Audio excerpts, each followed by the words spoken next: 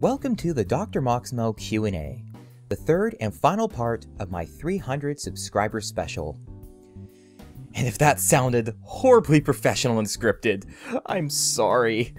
I am so bad at introductions and being off script. I'm such a bad improviser, so forgive me if this little intro here is all over the place. I can never get my thoughts like, you know, in a linear fashion. They're always flying by the seat of my pants. Alrighty, so Q&A.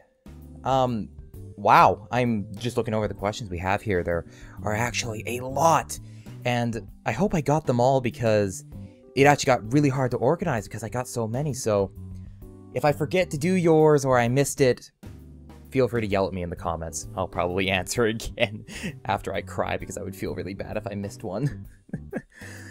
okay, so yeah, I'm just gonna try and keep this video as low-key as possible. I want it to be real and a fun time, so this is something you should have a drink with or play a video game to. Or, if you actually want to watch the video, you can now, because my wonderful artist, the great and powerful Amethyst, bless her heart, has once again helped me so much with this video and made it a hundred times better than I originally planned by making some background images for your enjoyment.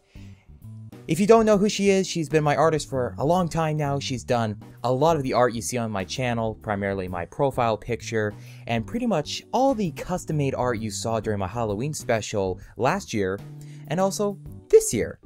And guess what? She's opening up a DeviantArt, and it would mean the world to me if you went over to it and followed her, subscribed, watched, stalked. I don't know what you do on DeviantArt. I don't use the website, but you know, go support her as much as she has supported me. It would really mean a lot. And she's amazing and she deserves more credit than I can give her. Okay, I think with that we can actually begin here. I'm actually gonna have a sip of coffee so I can wake up a little bit. Um, yeah, it's uh, 6.30 in the morning right now and I work in three hours and I have to get this recording done because this is the only amount of free time I'm gonna have. Okay, first set of questions. These were the aforementioned ones from the previous video I made where I said I collected questions throughout my career. So I don't know who to shout out here. Um, some of these I don't even know where they came from. I just kind of wrote them down here and there and I put them on sticky notes on my door, but they're still actually kind of interesting and I really wanted to cover them. So the first one is, how long have you done YouTube for? Um, well, my first YouTube video was posted on, I can't remember the date, but I know it was April of 2014. But I try and ignore that first year of YouTube for me because I really didn't take it serious until like October of 2015, actually. Yeah, there. Um, beforehand, I was just posting like these videos like here and there whenever convenient to me, which is like one video every like two months, so it was such a lazy attempt that I can't even consider it. So, in all technicality, two years, but honestly and truly, one year. Have you ever considered opening a Patreon, Kickstarter, GoFundMe, etc.? Oh, that is a really tough question. Um, it's not that I haven't thought about it, but I don't think that now is the time. Um, it's like one thing to ask somebody, you know, to subscribe, like, share your video with their friends or on their social media. But to go out of your way and ask people to give you their hard earned money? Um, that seems a little too much for me. Like, yeah, I would make sure the money went to the YouTube channel and every penny of it would go to help making my content better, but I just don't think I'm in any position to ask for money yet. And it wouldn't weigh good on my conscience if my conscience on my conscience if I did ask for money. At this point, it's a big fat no. But if, you know, if I feel like my channel's progress is only being halted by financial restrictions alone, then maybe I'll think about it. But until then, no. What YouTube channels do you watch? You know what? There are quite a lot I watch religiously. I actually watch a lot of YouTube. I'm primarily a gamer, so I watch a lot of gaming content, primarily like reviews, so things from normal boots, so that would be Peanut Butter Gamer, JonTron, and ProJared, as well as Jirard. The Hidden Block for sure. We got Caddicarus, Brutal Moose, and Space Hamster. I also do watch Angry Joe for his reviews, both movie and gaming. I know some people aren't too happy with the movie reviews, but hey, I think he's got some pretty valid points at the end of the day. And I also watch, whenever he posts, Vati Vidya. His videos are like art, like fine art meets gaming. It's one thing to cover Dark Souls and Bloodborne content, but when you take that game, but then tell a story while you're at it, that's a talent. That is a gift. And just watching one of his videos, I don't want to explain too much because I want you to actually go check him out and see for yourself. When you see how much attention to the small details he has, how he goes about it with his music, his editing, and how he tones his voice while explaining all the information he has, it really feels like he's trying to tell a story and broaden the already thick lore that that game series is known for. And yeah, I know I'm venting pretty hard right now, but I'm a fanboy at the end of the day. There's some people who actually ask me if I know these people because I do YouTube, and that answer is no. I'm still a big dork at the end of the day who loves these people. Um, I'm trying to think of like another channel. Um, oh yeah, Indy Neidell's The Great War series. I'm a pretty big history buff, especially for World War One, so his channel covers everything that's been going on in World War One, day to the day, a hundred years ago from today. His channel started in, I think, don't quote me, jeez, now I'm on pressure to show that I actually like history. July of 2014, because in July of 1914, World War I started to go into effect. So, if you do want to check it out, you got some things to go through because currently we're in October of 1916 and a lot has happened in the past two years, but I promise you, it will be worth your time. Will you ever post another Fire Emblem creepypasta? Also, who did you marry in Fate, All Roots, and Awakening? Now, I saw this question PM to me from my Tharja video, I think. Um, I actually wanted to cover it because the Tharja video is one of my most popular ones, and I think some people would be curious.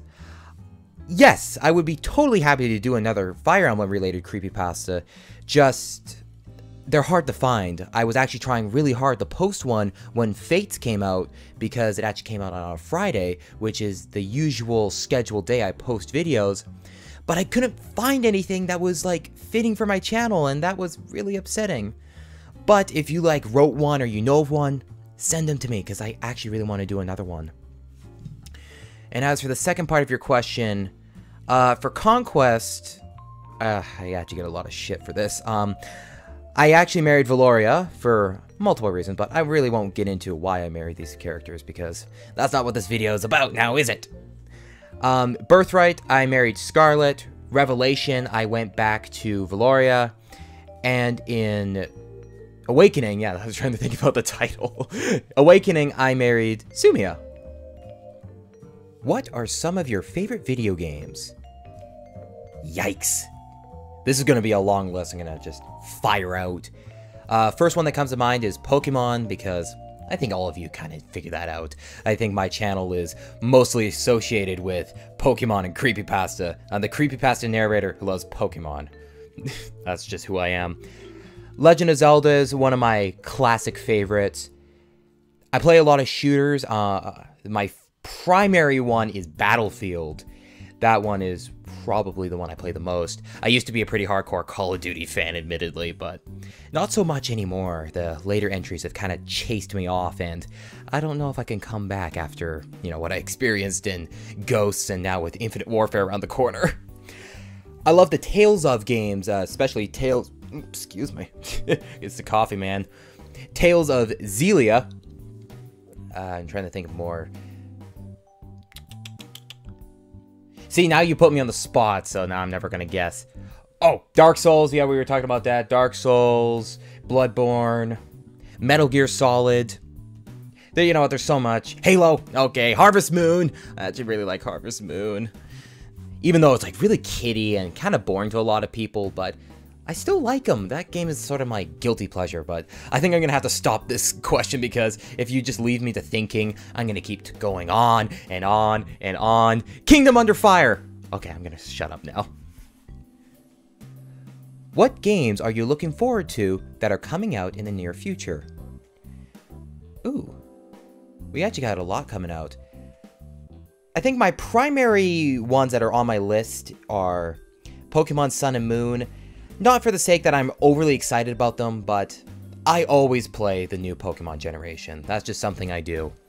Uh, I'm not too keen on the whole Hawaiian theme. It's just something, it's an aesthetic that's not really for me, but I'm still going to enjoy it because it still looks like a fun game at the end of the day. Battlefield 1, totally. I played so many hours in that beta, and I have no idea why, because anything I did there is not going to go over to my full version of the copy, so whatever. But like I said, I'm a huge Battlefield fan and a World War One enthusiast, so when you combine the two things that I like, of course I'm to like your game. Final Fantasy 15 looks interesting, but the question is, will it ever release? It keeps getting pushed back and back and back, so I'm pretty sure that game's in like in limbo forever.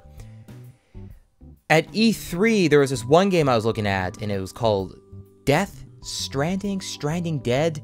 I'm not 100% certain, but that is Hideo Kojima's new game after being booted out from Konami. And I'm not really excited about it because we really got nothing about it, but I'm interested. That trailer was so like out there and asked so many questions that I can't help but be interested. There was like that big, weird, like sandy beach, wasteland kind of place. There was a naked Norman Reedus, a ghost baby, things floating in the sky. I was like, Mr. Kojima, where are you taking me?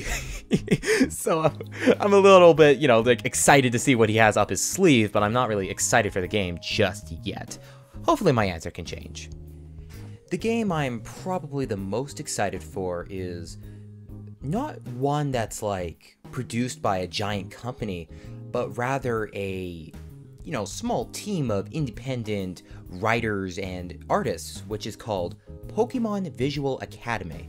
I didn't mention that in my last question, but I'm a huge fan of visual novels at the end of the day. I absolutely love covering like those stories because I like reading and everything and having like the visual novel. It's kind of like reading a picture book once again, like what I used to do in my childhood. Anyway, this one is actually like you're going to a college that is for Pokemon trainers. And I know it kind of sounds a little bit bland and boring, but as a student myself and as a Pokemon fan, it feels kind of relatable and it's really enjoyable. And probably the best part for me is that if they keep all of their promises that they're offering on their website, this could actually be the most in-depth and wide visual novel on the market. Don't take my word for it actually, if you like look up their website, I think it's just Pokemon Visual Academy, you can actually download a demo. So don't take my word for it, go play it for yourself and you can go see. And I know that sounded a little bit sponsored, but nope, I'm not sponsored. I'm just a fan of the game and I'm really passionate about it and I can't wait for it to come out.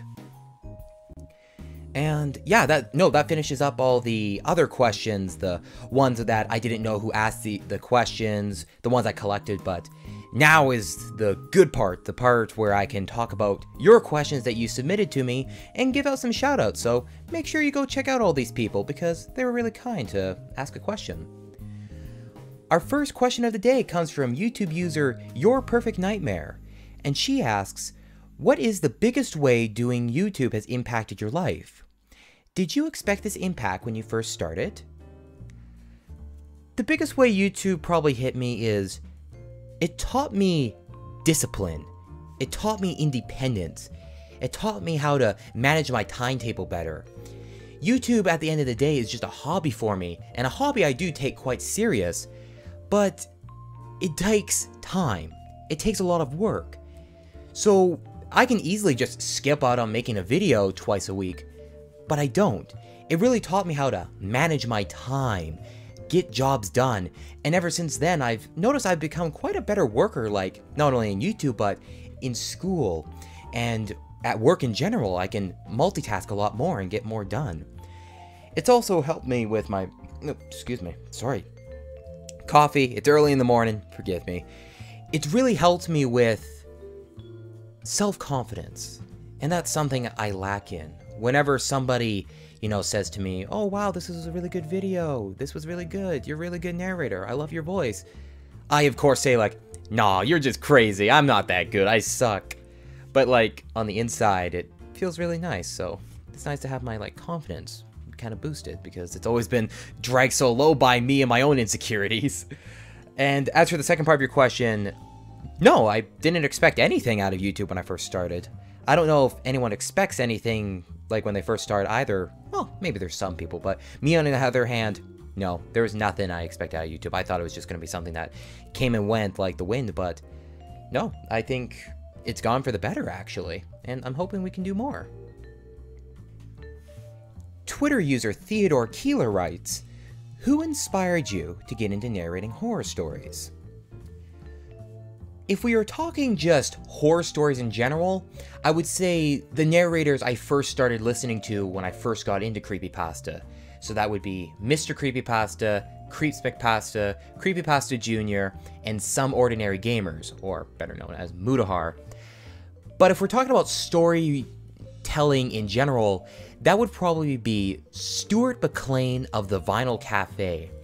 There was one time when I was watching one of his performances, and for those who don't know, he's a storyteller. He stands on stage with a book on his hand and he tells multiple stories, not just scary stories, but more like day to day stories, comedy. He's actually a pretty funny dude. Um, th- that was the first time I saw him perform. I looked at it and I went, I want to do that. But I always knew I wanted to tell stories, but those were the people who kind of told me that this is something you can do. It's not just a make believe fantasy. People will like this. People want to see this, so why not do it yourself? And really, I can only thank them for that, even though I've never met them.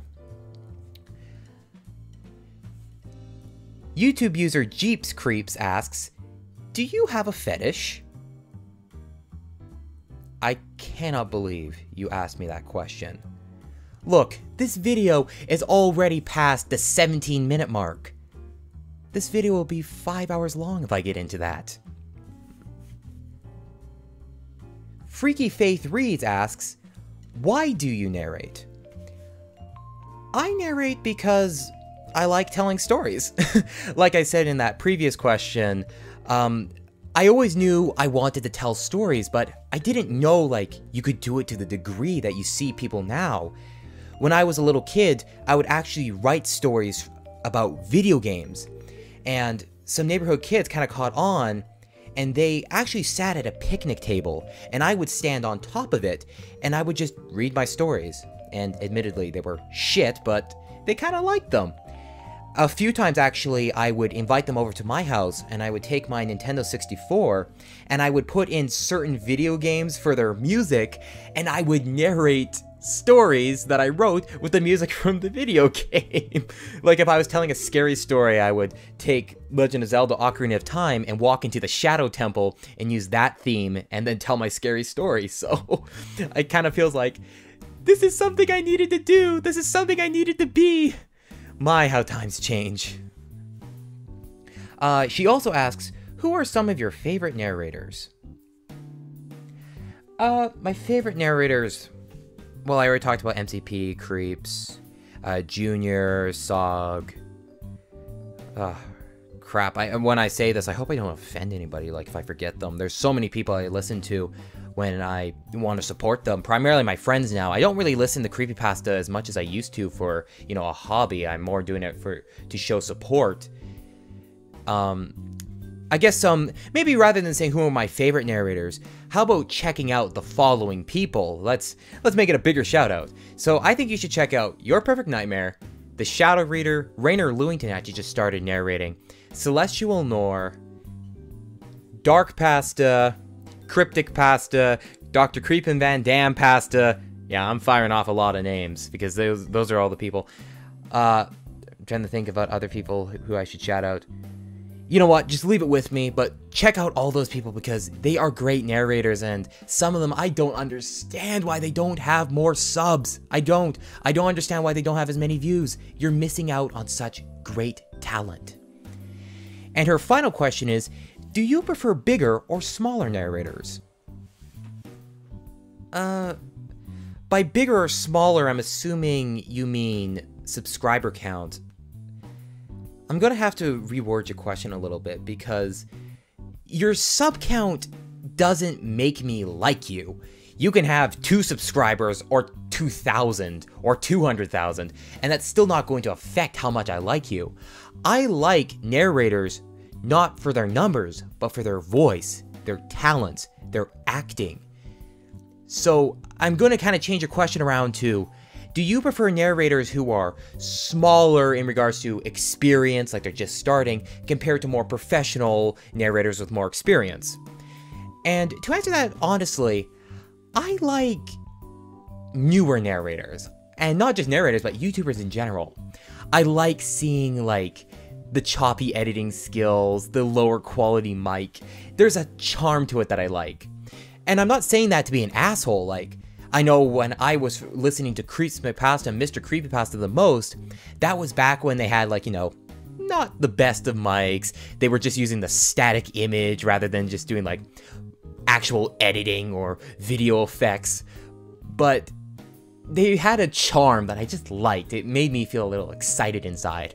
But now that they are larger and have more experience, I'm very excited for them to see where their projects will go. Like, I'm not saying, like, ooh, the old Mr. Creepypasta was better. Because, no, everyone deserves the chance to grow and broaden their horizons, and I'm very happy for them. But I just like that home feeling you these people used to have. And I try to preserve that in my content because that's what I like and that's my style. So, like it or hate it, is it the best idea? Probably not, but hey, that's what I find fun. The X Chemical writes, Where did the name Dr. Moxmo come from? Okay, now, this is a question that I wish had a better answer. It just sort of came to me, you know, this spontaneous. I knew when I was trying to make a username, and this was back when I got my PlayStation 3 and I was making a PSN account, I wanted it to have doctor in it because at the time I wanted to go through med school. I wanted to be a doctor when I grew up. So I wanted to have doctor in it. But then where Moxmo came from, I don't know. It's just like it came down from heaven and smacked me and then it just sort of stuck. And also, crap, I've been so bad on these shoutouts. Uh, you can check him out on YouTube, link in the description. Freaky Faith Reads, same thing, link in the description. And Theodore Keeler, he's a Twitter user, link in the description. There, there, caught up. Rainer Lewington asks, How did you become so fabulous? The same way anyone else can become fabulous. You gotta look at yourself in the mirror, and you gotta go, Girl. You killing it tonight, queen! Go slay the night! That's it. You just gotta make yourself feel good. And also, spread joy to others. Maybe throw glitter around wherever you walk. Dress in pink scream. I don't know. Just do what fabulous people do and you'll become fabulous. But I guarantee you that half of you are already fabulous and you never even know it. He also asks, what kind of drinks do you like to have on a Saturday night? Um, I don't really drink alcohol. I have a, little bit of a fear of it just because of personal reasons. But I have like an occasional like glass of wine here and there on special occasions, and I sometimes swipe a sip from my mom's, but my primary drink of choice is coffee. Perfect. I just, I love coffee. I have pretty bad a caffeine addiction, so I usually drink a lot of coffee. That's my thing on a Saturday night, because usually I don't work on Sundays, so I can drink a lot of coffee and not worry about falling asleep that night. Oh, this, this is actually, I'm just kind of looking, um, the Bejnion reporter from Tumblr asks, how much coffee do you drink in a damn day? I didn't realize that. That's actually perfect. Um, well, on the days that I'm working, it's usually three to four. I have two in the morning when I wake up, like this one I have right here is number two in the morning. A third one when I like have a morning break at work, and then one in the afternoon to get me through the evening. And on days that I am usually like I'm off the next day or I don't have to worry about going to sleep, I have three in the morning, one in the afternoon, one on my way home from work, and then one in the middle of the evening, so about six. I got a problem, guys. The Shadow Reader asks, How do you prepare yourself for a role in a creepypasta? Your acting is always near perfect, and it would be interesting to know how you got yourself in the character.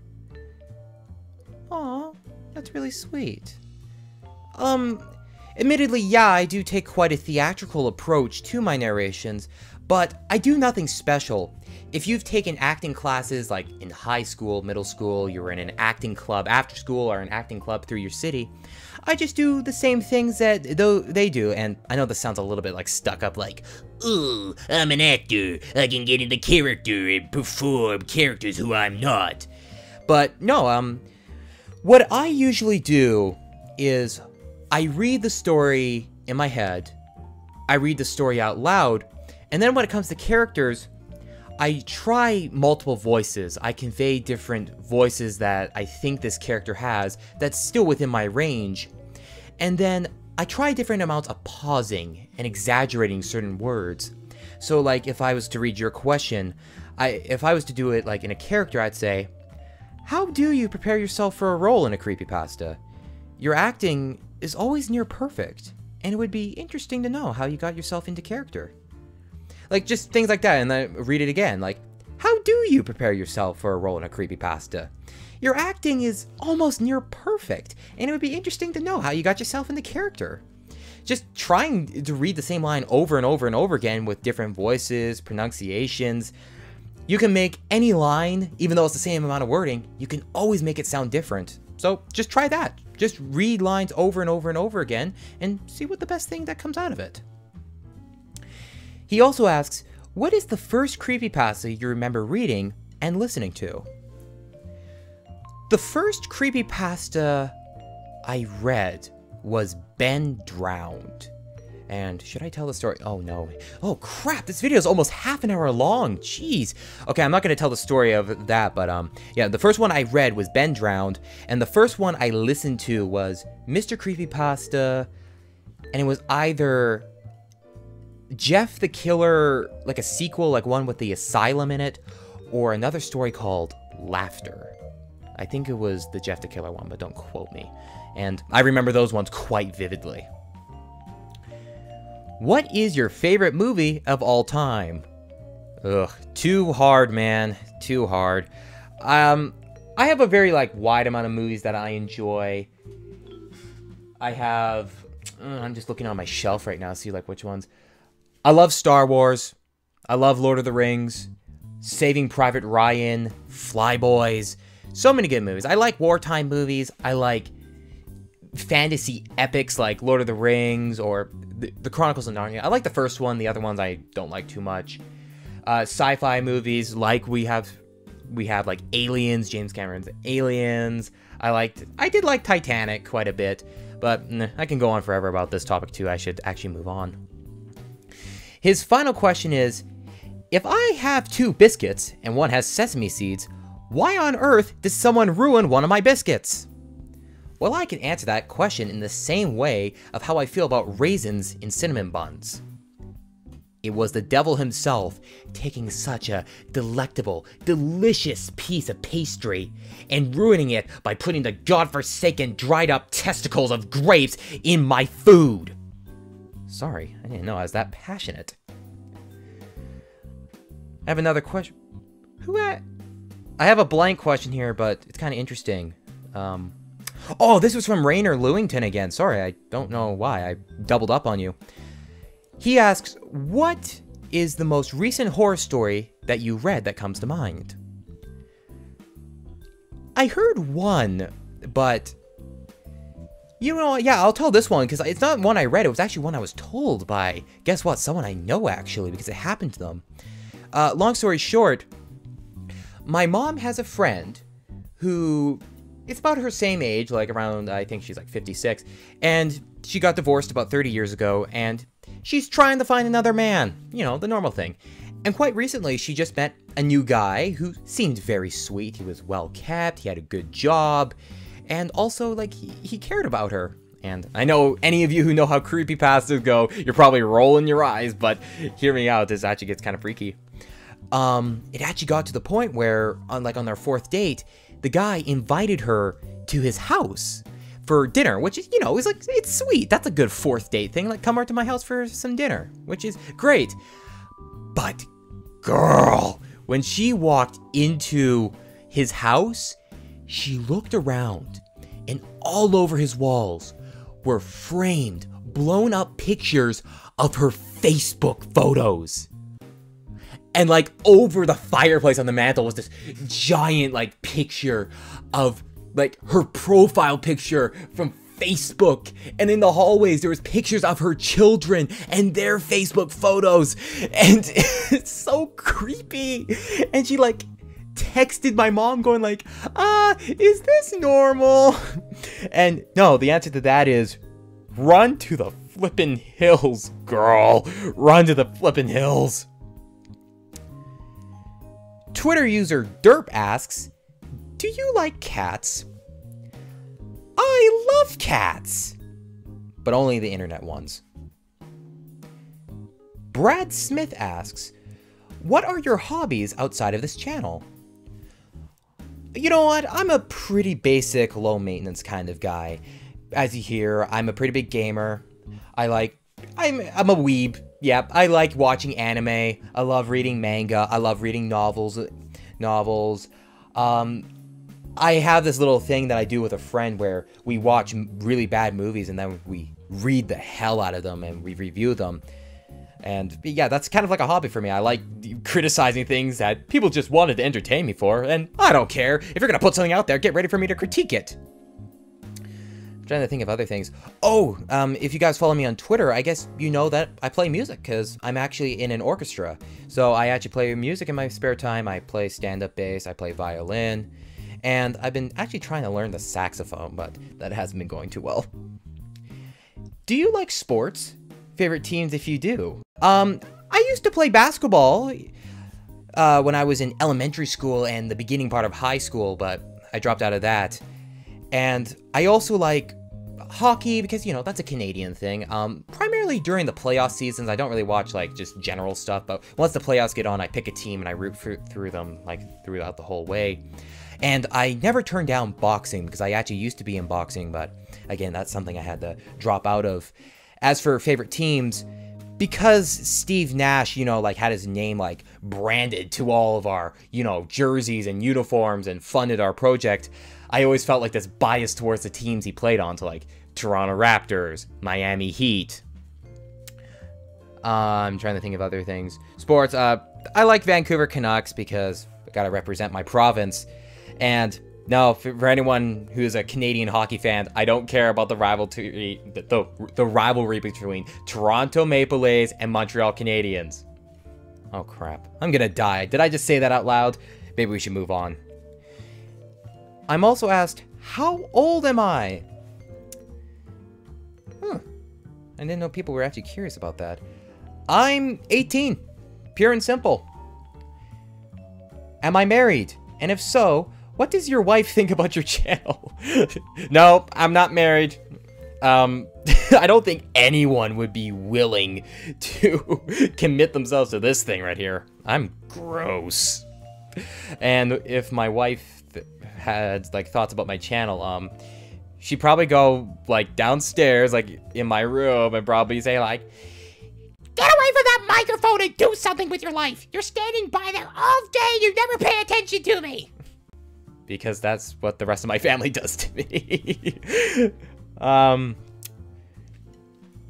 Oh, and here we go. I think this is the last question here. Yeah, no, and this is actually a perfect question to end up on. Anonymous user from Tumblr simply asks, what are your future plans for your channel? Well, I'm going to finish off Halloween here. Like, that's my main goal here, to survive through the Halloween special. Yes, I am doing another one. And for future plans, um, I'm going to focus more on quality and not, excuse me, quantity. Because, I don't know, I feel like I've been running in a bit of a, a, a rut as of late. And my goal is to, you know, make quality content. So I'm probably going to maybe post like one. Ugh, jeez, I can't stop. I keep hiccuping. Ugh, this is the final question. Get my body together. I want. Where was I? Yes, uh, I'm probably going to post maybe one video a week from. Maybe. I'm just going to still think about that. Where I'm going to focus more on realities of horror because that's such a. That's a good series, I think is better. I'm gonna focus on longer stories, and I'm not just gonna do creepypasta anymore. I wanna read actual stories. That's why, you know, Dr. Moxmo Readings is my username, and why I didn't go with like Dr. Creepy or Dr. Pasta or something, because I wanted to tell stories that weren't just creepypasta. And also, you know what? I'm gonna put this out there. Let me know if you guys bite.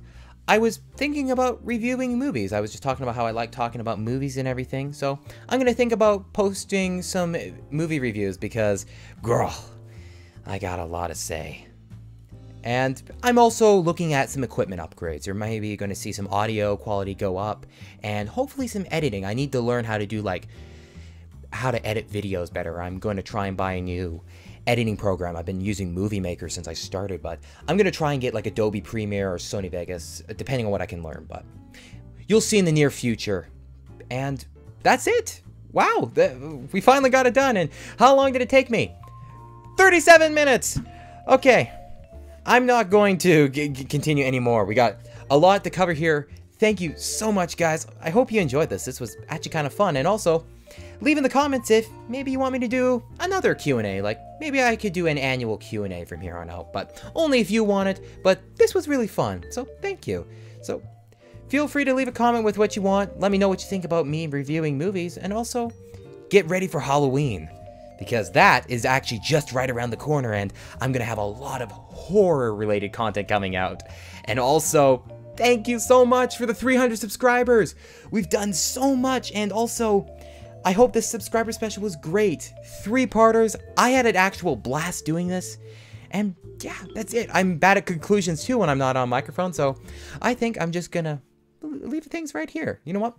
Go enjoy the rest of your day. Go tell someone they're fabulous. Go tell yourself you're fabulous and understand that you are beautiful. All right, everyone. Thanks so much for watching, and I'll catch you next time. See you next week.